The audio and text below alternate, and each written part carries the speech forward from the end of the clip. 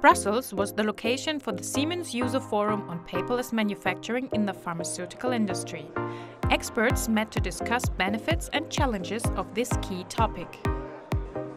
We need to know the tools, the SIMATIC IT tools are very important for that and uh, being updated is very important in order to be ready for, uh, for the next uh, adventures with the customers.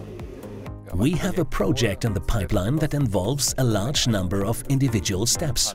At the moment, these are all entirely manual, and if they need to be documented, paper-based. Uh, in some sites, we already have uh, EBR solutions and a full MES solution, so we already know what are the benefits and the constraints to have or not uh, paperless solution. But our main strategy at the beginning is almost to standardize the solution. One major topic was the Siemens MES strategy for paperless manufacturing. To become a paperless factory, uh, MES is a key element to get there. Um, of course, there are others, but if you don't have an MES, then you never get to a paperless factory. With the solution SIMATIC IT EBR, we have a proven solution for the pharmaceutical industry, and that's also why we invite users already, hmm, but also some potential customers to show what we can deliver in this market and um, also to give them a clear view that this is a important part of our strategy for the future. There was also time to discuss both business challenges and solution benefits.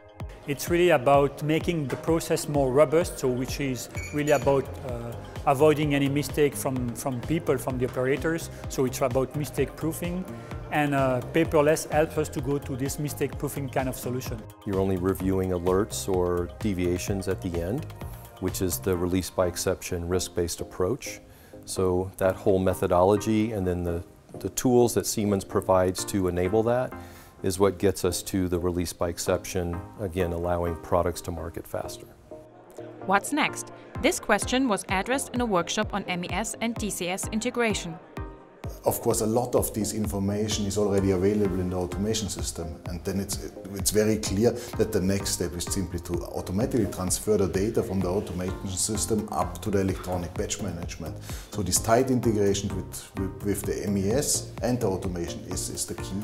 We've just seen a, presentation on, uh, we say, linking the EBR or um, SIMATIC EBR to the DCS system. So uh, that's been interesting. Lower cost of quality, improved operations. With the right tools, paperless manufacturing is the way to get there.